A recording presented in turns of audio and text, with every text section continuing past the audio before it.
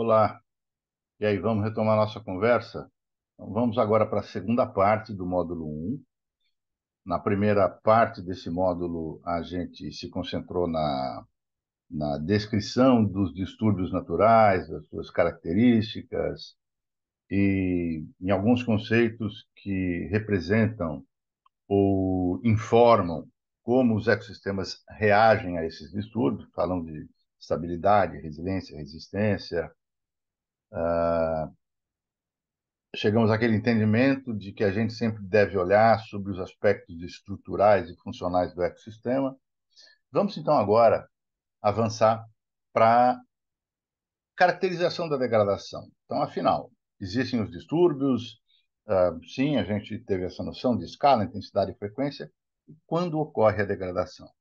Aí existe essa proposta de, uh, de buscar entender uh, a degradação ambiental como resultado de uma equação, em que a, a degradação ela seria uma resultante, um resultado da, do confronto de forças. Então, forças que seriam representadas, forças que contribuiriam para a degradação seriam os processos degradantes naturais, os distúrbios naturais e as interferências humanas, os distúrbios antrópicos ou antropogênicos, menos a regeneração natural, que é a capacidade de autorrecuperação, autorreparação do ecossistema, mais o manejo restaurativo. O manejo restaurativo é uma forma da gente informar sobre ações humanas, ações antrópicas que contribuem para a saúde e integridade do ecossistema e buscam combater a degradação ou reverter o processo de degradação. Então, nós temos duas forças antagônicas, forças opostas. Um conjunto de forças que contribui para a degradação, que favorece a degradação, e um conjunto que tenta combater a degradação. Quando o resultado o favorecer os fatores degradantes, os processos degradantes, nós temos a degradação. Então, quando eles têm mais força, mais expressão, a gente vai ter o processo de degradação instalado. A gente vê nessas figuras aqui embaixo, a gente consegue exercitar isso que está sendo é, mostrado nessa equação, nessas imagens uh, aqui embaixo. Então, nós temos uh, uma situação em que, ou quando os danos sofridos, os impactos causados pelos processos degradantes, quando eles extrapolam a capacidade de autorrecuperação dos ecossistemas, aí está instalada a degradação. Né? Eu acredito que vocês já vinham intuindo, talvez até pela experiência de vocês. Mas o mais importante da, da, disso que a gente discutiu até agora é entender que sim, existem distúrbios naturais e os ecossistemas eles uh, estão preparados ou devem estar preparados para absorver os impactos desses distúrbios naturais e prosseguir na sua condição de equilíbrio. Tá? Aí um resumo do que a gente conversou até agora. Então, os distúrbios naturais, como a gente acabou de citar, são aqueles eventos discretos no tempo e que contribuem com a manutenção da estabilidade e da resiliência dos ecossistemas. Evento discreto, com início e fim bem identificados, bem localizados, e a gente já entendeu que é importante que os distúrbios eles tenham um final, né, o mais rapidamente possível, para que os ecossistemas tenham a capacidade de absorver os impactos desses distúrbios e se auto-reparar, e se auto-recuperar. O que vai pesar a favor da degradação, efetivamente, são os distúrbios antrópicos, originários da atividade humana, por serem é, de maior escala, terem maior intensidade e ocorrerem com maior frequência, as queimadas talvez sejam o exemplo mais ilustrativo dessas, dessas, desses três atributos qualificando os distúrbios antrópicos. E aí nós vamos ter a estabilidade ou a resiliência a capacidade de autorrecuperação altamente compreendida. O impacto, portanto, da degradação ou dos distúrbios antrópicos, com essas características de maior escala, maior intensidade, maior frequência, é o impacto na estabilidade, na resiliência. Porque por, justamente por representarem mudanças drásticas no regime de distúrbios a, a, a que o ecossistema estava habituado. Então, essa, aquelas flutuações de equilíbrio, elas, elas vão ultrapassar os limites, como a gente viu naquele gráfico na primeira parte.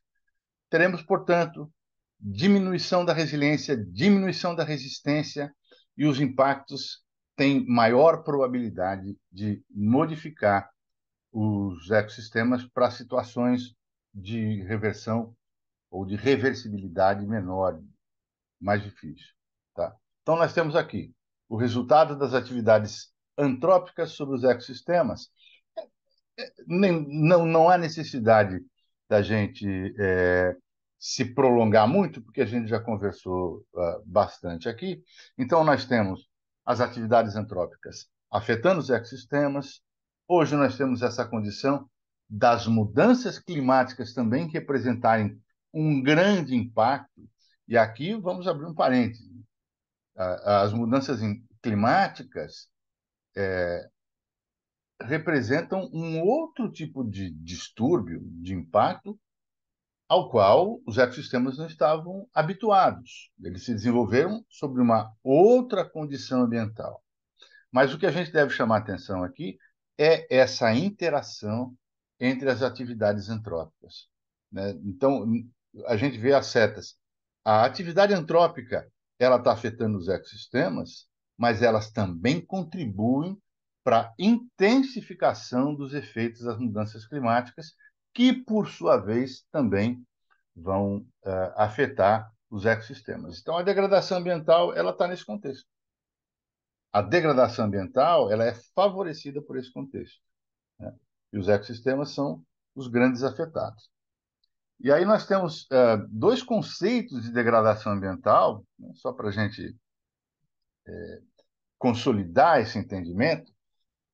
Vejam que interessante, a Política Nacional de Meio Ambiente Brasileira, que é de 1981, já traz uma definição de degradação ambiental, em que a, a degradação seria o resultado de danos ao ambiente pelos quais algumas das propriedades do ambiente, do ecossistema, são reduzidas e exemplifica como a capacidade produtiva, que é uma das, das, das funções dos ecossistemas, lembram lá, produtividade, e a qualidade dos recursos naturais. Aí a, a, a, a política, ela, a lei, ela já fala da, dos impactos sobre os recursos naturais. Uma segunda definição é é uma reunião de, do que propõem esses autores aí, que é, em que a degradação ambiental seria resultado de uma combinação de fatores que reduzem as condições físicas, químicas ou biológicas do ecossistema, limitando novamente a sua capacidade produtiva. Aí está a grande coincidência entre esses dois conceitos. Mas nesse segundo conceito aqui, esse detalhamento sobre quais são a, a, as dimensões ou os compartimentos do ecossistema que são afetados. Compartimento físico, sua estrutura, principalmente, compartimento químico, aí nós estamos, podemos estar falando da, dos nutrientes e de suas interações, e as condições biológicas, a gente nem precisa se estender na qualificação dessa dos componentes biológicos. Então, nós temos essa, essa, essa imagem, esse esquema aí, onde a gente tem, a gente pode enxergar uh, intensidade, frequência, períodos mais quentes mais frequentes, períodos mais secos mais frequentes. Né? Mas o fato é que os processos de degradação também ocorrem em diferentes escalas. Então, nós temos aqui, por exemplo, o aquecimento global, já citado, um, um aspecto, um, uma, um, um impacto que a gente não tem abordado tão recentemente, que, que são as, as, as alterações, os impactos na camada de ozônio da atmosfera, que também contribuiriam para o aquecimento. Né? Então, nós temos esse grande, é, é, grande problema de ordem global que afeta indistintamente, indistintamente várias regiões no planeta, mas nós temos também e os, a escala regional, a escala local, e é nessa escala aqui que a gente, obviamente, tem maior possibilidade de intervir. Nós temos maior possibilidade de entender o processo de degradação e, portanto, uma melhor oportunidade de intervir. Então, nós podemos é, tá, estar nos referindo à perda da cobertura vegetal, desmatamento, a fragmentação como consequência desse desmatamento, o isolamento entre áreas de hábitat é algo bastante visível. Né? Nós temos a degradação do solo, em relação ao solo, nós temos a, a erosão, os processos erosivos, como os processos, os processos mais visíveis, né? simplesmente analisando a paisagem, mas nós também, também temos processos não erosivos, como a compactação, um alagamento mais duradouro, contaminação do solo, poluição, salinização pelo, uh, pela forma indiscriminada de, de aplicação de adubos químicos, a degradação dos recursos hídricos, seja pela diminuição na oferta, seja pela diminuição na qualidade dos recursos hídricos da água, e, finalmente, algo que é muito grave, mas talvez a gente também tenha uma dificuldade de observar, de mensurar e de ter uh, uh, mais concreto, uma visibilidade mais concreta, que seria o, o desaparecimento, a extinção de espécies e a consequente perda da biodiversidade. Talvez o mais drástico o mais uh, grave da, de, desse, dessa questão das escalas, né? É a perda da biodiversidade, mas a gente ainda tem é, uma dificuldade de, de se, se manter informado, consciente desse problema. Em relação às escalas, tem um, um, esse outro esquema aqui, que eu acho bastante interessante, porque nesses exemplos que a gente estava citando, a gente estava se referindo muito à escala, à escala espacial, né? Uh, ocorrências, uh, eventos globais, eventos regionais, locais, etc. Mas esse, esse, esse gráfico, esse esquema, que ele é resultante de, de, de um estudo, né, de, de uma revisão, em que eles observaram como a, a fauna do solo, a fauna que é responsável pelo processo de transformação da, do material orgânico, preparar esse material para decomposição transformação em matéria orgânica do solo, e aí todos os benefícios associados à fertilidade, manutenção da umidade do solo, etc. Então, eles, esses autores, eles uh, uh, observaram eles resgataram, fizeram uma revisão de dados né, publicados de como a fauna do solo ela reage, né, ou ela pode reagir em relação a, aos eventos. Então, eles trabalharam com duas escalas. Deixa eu acionar aqui um, um, um, uma caneta, né? só para a gente facilitar. Então, aqui, nessa Nesse eixo aqui, nós temos a escala temporal. Então, eles estão falando de eventos, distúrbios, de impactos, que têm uma duração curta, que pode ser medida em dias ou semanas, ou eventos que podem ser medidos em décadas, talvez, infelizmente, séculos. Então, aqui nós temos a escala temporal, e nesse outro eixo aqui, nós temos a escala espacial. Então, da mesma forma, os eventos eles podem ser medidos, observados ou eles impactam desde pequenas áreas que a gente consegue medir em hectares, ou eles podem avançar para ter um impacto de, de nível global, e a gente não consegue nem achar uma unidade de área aí para qualificar. Então, como exemplos de, de eventos que têm curta duração, eles estão aqui restritos nesse, nesse retângulo, né? nós temos uh, ventanias, furacões, incêndios, alagamentos, como a gente tem visto no, em várias cidades nos estados do sul do Brasil recentemente. Então, são eventos de curta duração, mas que cada vez impactam uma área maior, municípios, né? municípios, áreas rurais e vários municípios uh, próximos, enfim.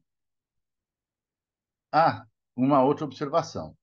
Esses, esses, esses eventos, essas perturbações, esses distúrbios, de acordo com os autores, eles são divididos em eventos de característica biológica, biótica e de característica ambiental, abiótica, não biológica. Então, ventanias, furacões, incêndios e alagamentos são uh, distúrbios ambientais, não biológicos. Né? Como biológicos, os exemplos que eles, que eles trazem aqui, que os autores trazem, nós temos as epidemias e as espécies invasoras. Olha que interessante. A gente acabou de testemunhar, de vivenciar uma dessas experiências. As epidemias, elas têm o potencial de durar anos, por que não? E cada vez com um potencial maior de impactar globalmente, justamente por ser uma epidemia. No caso da Covid, nós tivemos uma pandemia que é algo de uma, de uma escala especial, espacial mais expressiva. E temos as espécies invasoras que, definitivamente, em termos de, de perda de, de, de biodiversidade, têm representado um, uma, um, um, um impacto é, imensurável, justamente porque são muitas espécies ou são muitos casos de invasão biológica, e cada caso tem a sua peculiaridade, cada caso demanda um tipo de confrontamento. Então, aqui nós temos esses, essas, esses distúrbios de ordem biológica, e prosseguindo uh, nos distúrbios de ordem abiótica, de, de características ambientais, nós temos as secas, nós temos testemunhando, estamos testemunhando também secas mais prolongadas, impactando áreas maiores, e, finalmente, as mudanças climáticas, mais uma vez aqui. Uh, sim, nós já falamos, estamos repetidamente falando das mudanças climáticas, mas uh, visualizem isso tudo que nós estamos falando nesse, nesse gráfico. As mudanças climáticas representam perturbações ou um tipo de distúrbio de ordem ambiental, abiótica, com potencial de causar impactos por muito tempo e em nível global. Então, a degradação, é essa a apresentação dessas várias leituras e abordagens e exemplos, na verdade, elas convergem para dizer que a degradação ambiental ela é, no fundo, potencializada por uma sinergia de eventos ou por um encadeamento de eventos. Vejam essa sugestão que é interessante. É uma, uma situação em, em que os autores eles propõem que a conversão de um ecossistema saudável para um uso do solo que não vai prover os serviços ecossistêmicos, obviamente, como provia o ecossistema saudável, e aí nós estamos falando de converter florestas, por exemplo, converter florestas para pecuária, agricultura, para mineração, onde os impactos são de outra grandeza. E qual é o encadeamento de, de, de impactos que sugerem uma sinergia entre essas etapas, onde a condição de degradação vai sendo intensificada. Até nesse exercício, eles propõem que o avanço, né, ou esse encadeamento de processos, pode levar à desertificação de uma área se não houver uma intervenção no sentido de é, estancar o, esse processo de degradação e até mesmo reverter. Então, qual é o exercício que eles fazem aqui? Então, nessa, na, como uma, uma, um primeiro impacto potencial, nós temos a perda de solo, duradoura, perda de matéria orgânica do solo. Essa perda de solo e a perda da matéria orgânica, que contribui para uma melhor estrutura, por exemplo, vai resultar numa menor infiltração de água, que vai resultar em uma menor disponibilidade de água para as plantas, portanto, afetando a produção vegetal, a produtividade vegetal. Não tendo vegetação, nós vamos ter uma menor adição de matéria orgânica do solo, ambientes com menor fertilidade e com a menor oferta de matéria orgânica no solo, nós vamos ter uma menor atividade biológica no solo. Os organismos do solo também vão ser impactados. Então, essa dificuldade de, de, de produzir, de desenvolver um novo ecossistema, uma nova cobertura vegetal, vai continuar contribuindo para erosão do solo, uma perda mais expressiva, significativa de nutriente, de nutrientes, menos água retida e a gente tem o avanço dessas desses impactos, né, a sinergia entre esses processos, com as consequências cada vez mais graves e cada vez com maior dificuldade de reversão. Então, vou fazer um parênteses aqui, já fazendo um convite para a gente ir lá e pensando nas, nas atividades é, restaurativas, na restauração. Identificar um momento que é essencial para a interrupção da degradação e para a reversão do processo. Ok? Mas um outro detalhe que a gente deve chamar atenção: esses mesmos autores, aí aproveitando algo que a gente já discutiu bastante na primeira na primeira parte, mas a gente já vem resgatando aqui. Então, cada um desses processos, eles são associados aqui a uma dessas setas com diferentes cores. Então, essa seta preta, por exemplo, ela representa um processo que está associado à estrutura, ao aspecto estrutural do ecossistema, e ela é, é digamos, uh, liderada, ou ela está mais vinculada aos processos bióticos. E aqui nós estamos falando de matéria orgânica do solo, uh, que está associado à vegetação como, uh, como componente biótico, e nós estamos falando da perda de solo, que é uma questão estrutural também. O solo é, é, é o componente estrutural onde esse processo, ou ao qual esse processo está principalmente vinculado. A menor infiltração, né, essa seta azul aqui, menor infiltração de água. Lembram que uma das funções que a gente citou lá dos ecossistemas associados à estrutura é justamente a, a, a regulagem do regime hídrico, dos serviços hidrológicos. Está aqui. Então, é, é uma questão associada à estrutura, porque o solo ele está menos propício ou preparado ou habilitado para facilitar a infiltração de água. E a infiltração de água é um aspecto funcional.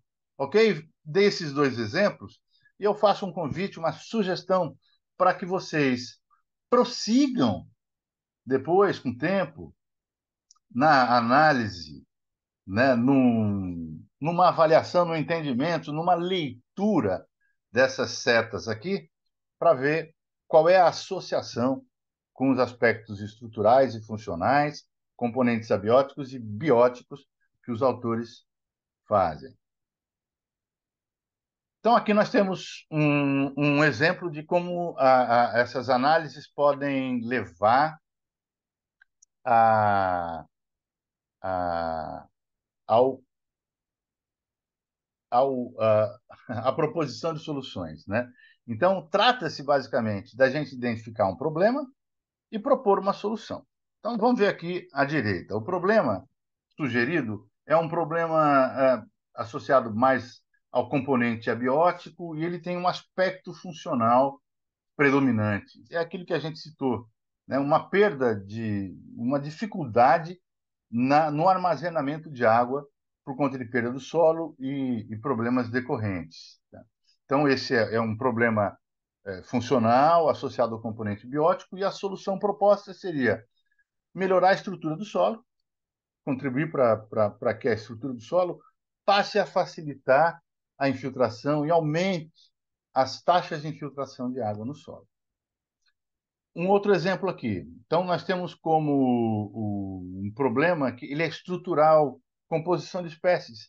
Era um aspecto estrutural do, dos ecossistemas, das comunidades. Né? Então, nós temos ali uma composição de espécies indesejável. Uh, espécies com potencial invasor, espécies exóticas que não têm contribuído para a ciclagem de nutrientes. Qual seria a solução? Tentar remover essas espécies indesejáveis e fazer o plantio das espécies desejáveis, tentando construir uma comunidade com uma composição que seja mais interessante, mais desejável no sentido da provisão de serviços ecossistêmicos. Bom, então, agora uma proposta, só para a gente fechar essa parte da essa nossa conversa sobre degradação, é, de olhar a degradação ou colocar aqui várias perspectivas da degradação. Então, a perspectiva do ecossistema, a partir do ecossistema. A degradação ela está representada pela perda de espécies e pela perda, isso é mais importante, pela perda de interações, polinização, dispersão, facilitação. Então, nós temos aí uma questão estrutural, que é a perda das espécies, modificações na composição de espécies, e a perda das funções associadas. Várias interações têm o potencial de desaparecer com essa perda, com essa extinção local que seja de espécies. Então, do ponto de vista do, dos ecossistemas, a degradação ela representa essa redução, isso que é grave, persistente na capacidade de prover os serviços ecossistêmicos que a gente citou aqui. E, em termos de trajetória sucessional, o desaparecimento das espécies, os papéis que essas espécies elas desempenham na sucessão, desaparece e a sucessão ela vai ser interrompida do ponto de vista da paisagem, nós temos a fragmentação. Né? Essa talvez seja a consequência da degradação mais, uh, mais evidente, mais explorada na Mata Atlântica. Né? Então, nós estamos falando de perda de conectividade entre os ambientes de hábitat, que é uma questão estrutural, e essa perda de, de, de, de, conectividade vai afetar a recolonização das áreas desmatadas, que é um aspecto funcional. Então, basta a gente ver. Quanto mais intensa for a fragmentação, quanto mais afastados estiverem os, os remanescentes florestais, os hábitats pela fragmentação, mais complexa vai ser a recolonização dessas áreas. Mais difícil vai ser a, auto-recuperação, a auto-reparação do ecossistema. Então é isso, redução de área de hábitat estrutural e uma redução na oferta de recursos alimentares, abrigo para a, os usuários da, dos, da, da paisagem dos ecossistemas. Temos também, aqui é um, uma outra sugestão, que é olhar a degradação da perspectiva da fauna. Eu não sei se vocês conhecem esse, esse termo defaunação. né, é perda de fauna, redução no número de espécies, extinção de espécies e os impactos nas interações. Espécies que são fundamentais para a dispersão de, de espécies animais, que são fundamentais para a dispersão de espécies vegetais, muitas com um papel chave no funcionamento do ecossistema. Né?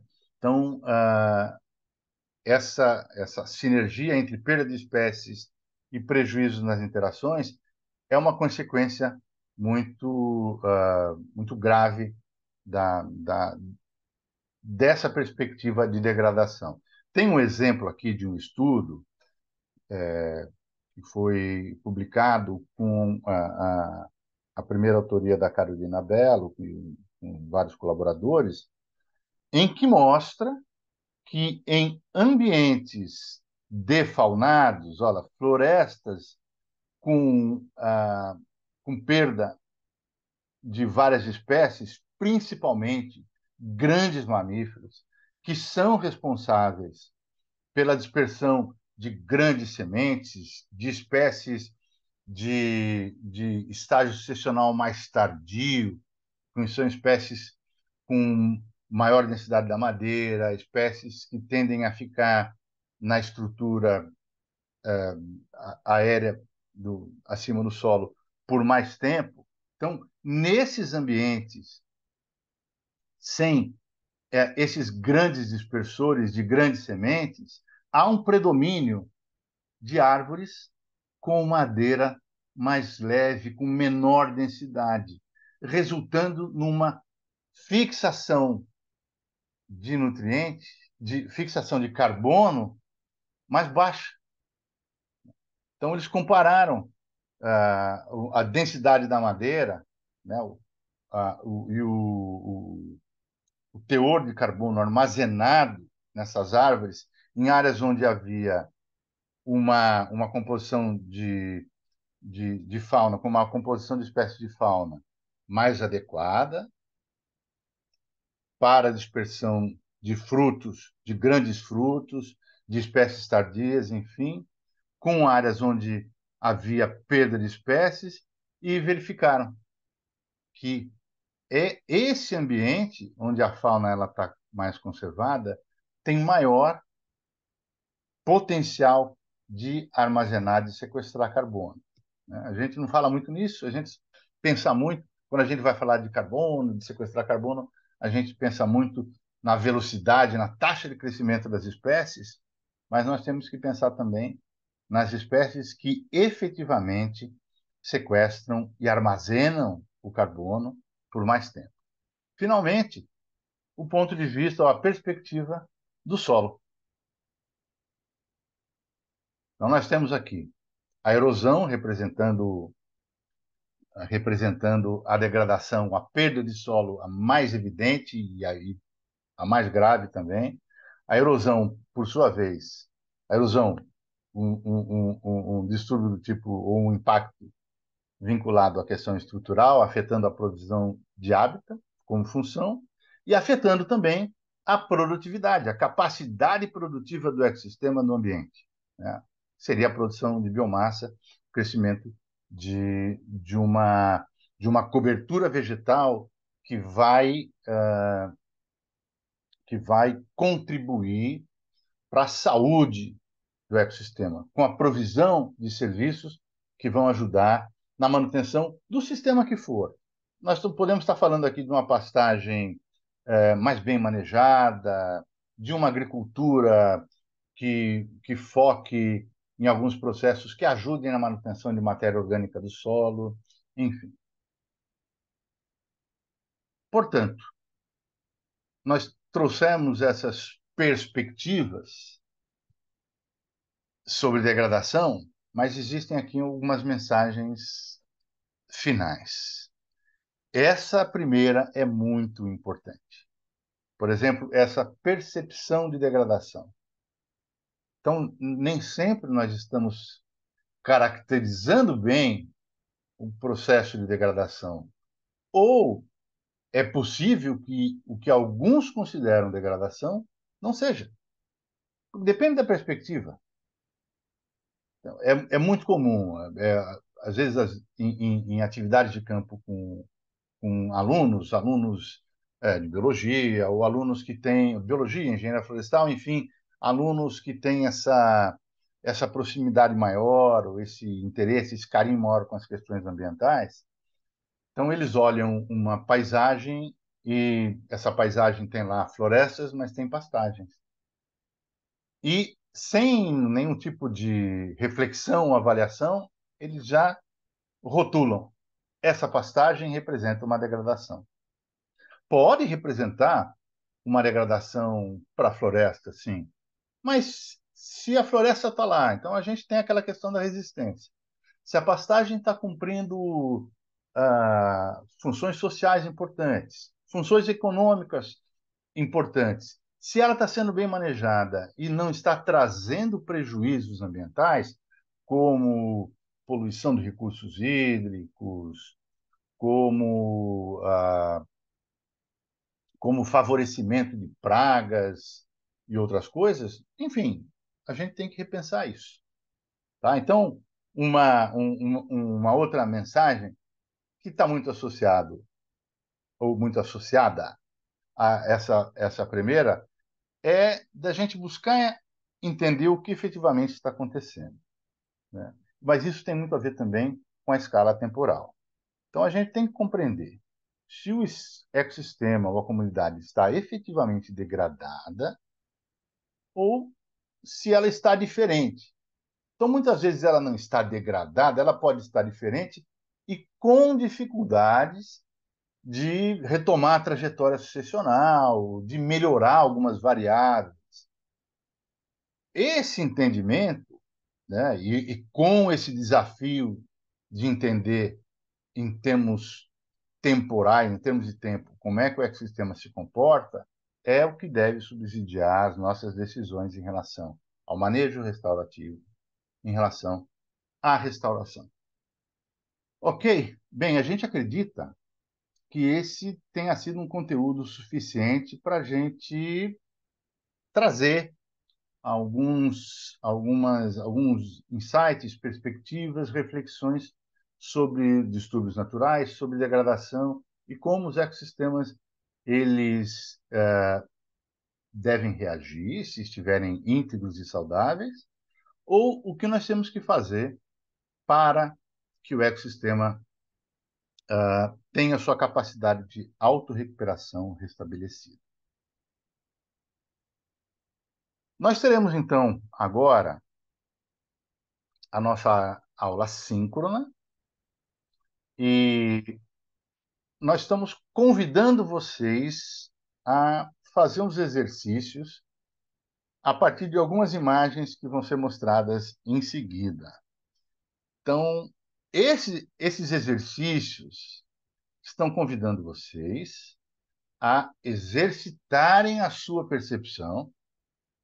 Então, a partir dessa percepção, na análise das, das figuras, surgiram, primeiro, se há alguma situação de degradação ambiental, qual seria, como ela está caracterizada, onde ela está localizada na imagem, pensem o que tem na imagem, né? além do ponto que vocês eventualmente identificaram a degradação, como as outras, as outras, os outros componentes identificados na imagem podem interagir com a área onde está a degradação, enfim, identificada a degradação, qual seria o potencial de autorreparação, de autorrecuperação, de regeneração natural num ambiente que vocês preveem ser o ambiente predominante ou o ecossistema predominante naquela área. Potencial alto, médio, baixo, desse potencial de autorrecuperação do ambiente degradado. Vejam bem, nós não estamos avaliando vocês. Não é um exercício para avaliação, para nota, para nada é um exercício para a gente discutir, exercitar efetivamente o que nós vimos hoje como conteúdo nessa aula, que foi assíncrona e teórica, basicamente, ok? Então, são essas imagens aqui.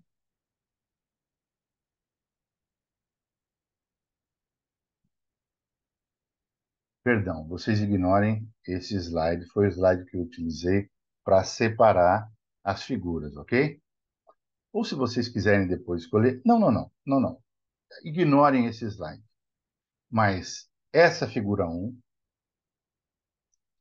para essa figura 1 vocês estão convidados, para a figura 2, a figura 3 e a figura 4.